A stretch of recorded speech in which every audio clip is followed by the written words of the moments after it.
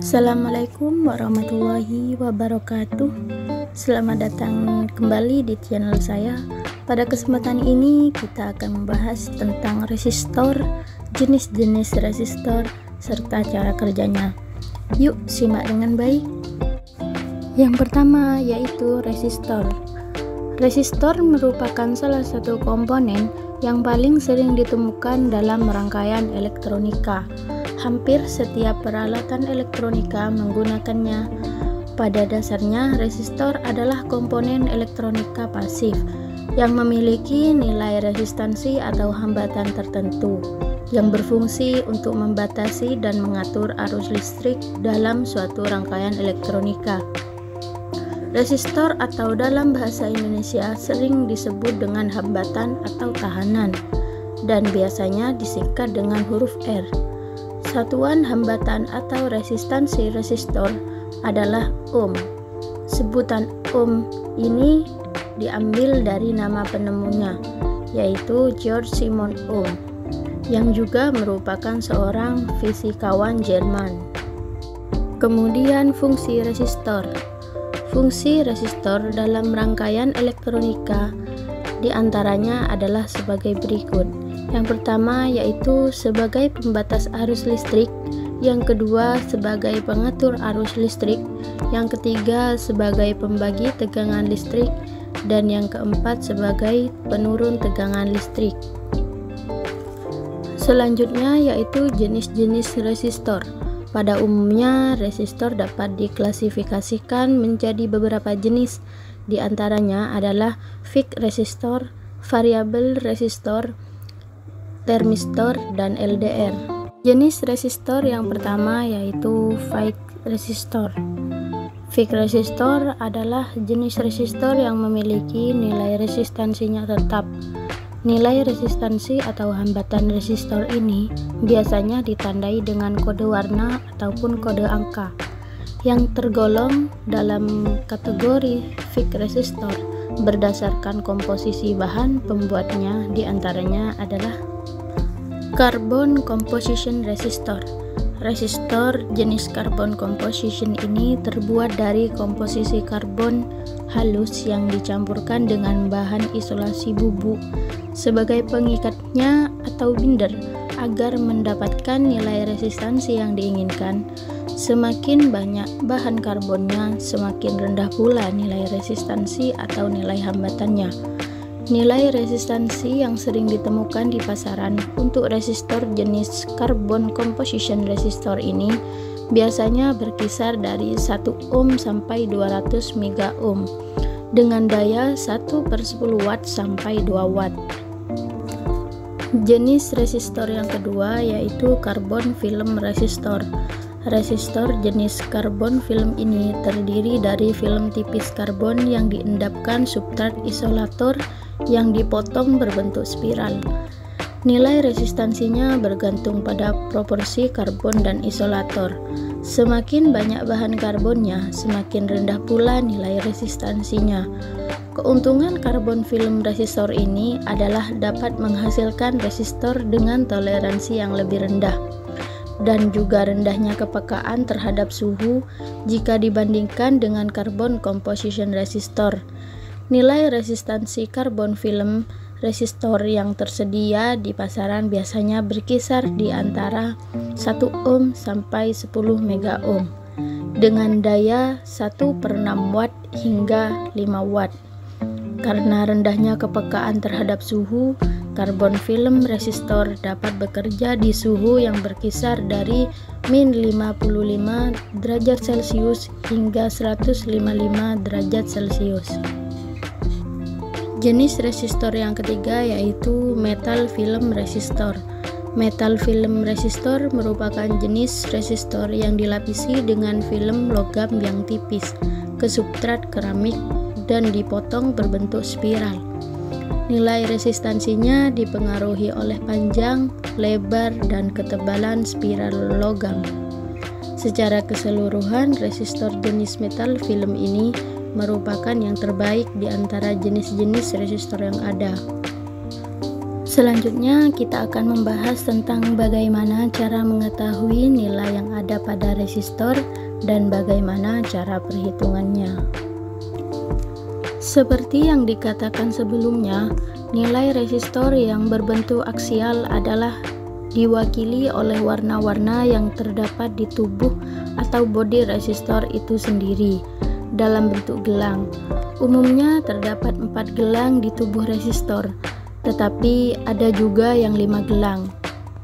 Gelang warna emas dan perak biasanya terletak agak jauh dari gelang warna lainnya sebagai tanda gelang terakhir. Gelang terakhirnya ini juga merupakan nilai toleransi pada nilai resistor yang bersangkutan. Perhitungan untuk resistor dengan empat gelang warna. Yang pertama, masukkan angka langsung dari kode warna gelang pertama. Selanjutnya, masukkan angka langsung dari kode warna gelang kedua.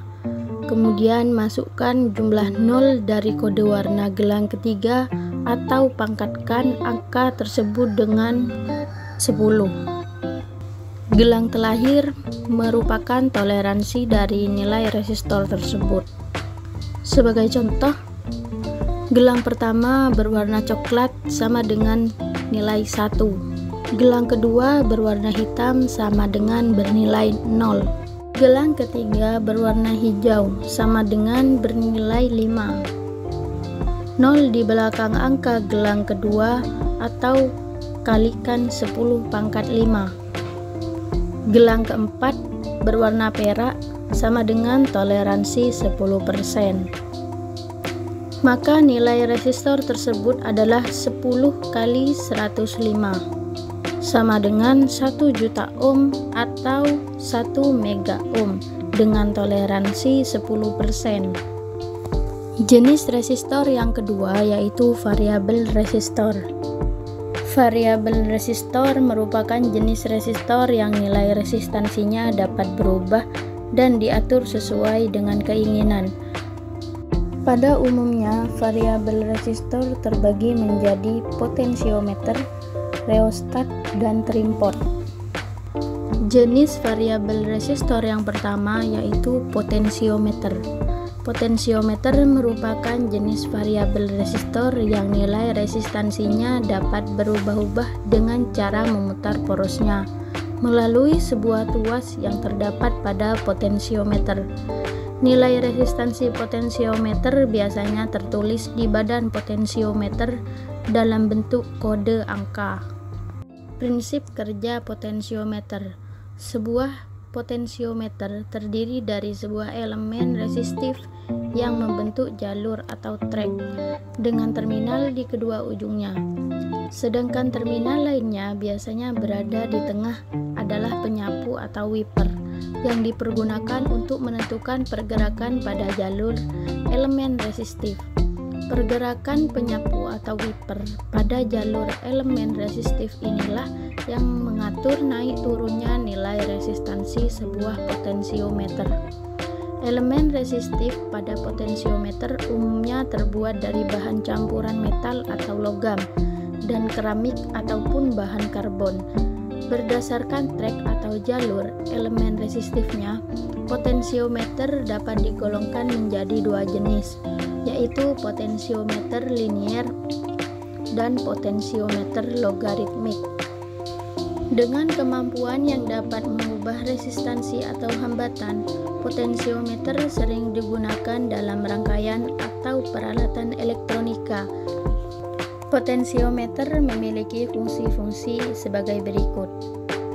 Yang pertama sebagai pengatur volume pada berbagai peralatan audio atau video seperti amplifier, tape mobil, DVD, dan player. Kedua, sebagai pengatur tegangan pada rangkaian power supply. Yang ketiga, sebagai pembagi tegangan. Yang keempat, digunakan sebagai joystick pada transducer dan yang terakhir sebagai pengendali level sinyal. Jenis variabel resistor yang kedua yaitu rheostat.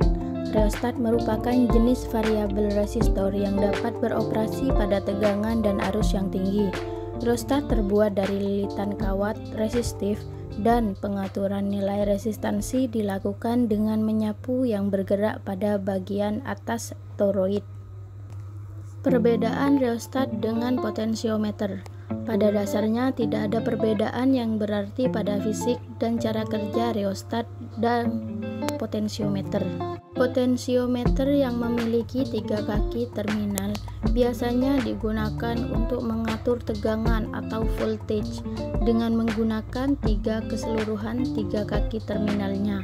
Sedangkan rheostat digunakan untuk mengatur arus listrik atau current dengan hanya menggunakan dua terminalnya dan umumnya rheostat digunakan untuk mengatur arus listrik yang tinggi. Jenis variabel resistor yang ketiga yaitu preset resistor atau tripod. Preset resistor atau sering juga disebut dengan tripod adalah jenis variabel resistor yang berfungsi seperti potensiometer tetapi memiliki ukuran yang lebih kecil dan tidak memiliki tuas. Untuk mengatur nilai resistansinya dibutuhkan alat bantu seperti obeng kecil untuk dapat memutar porosnya.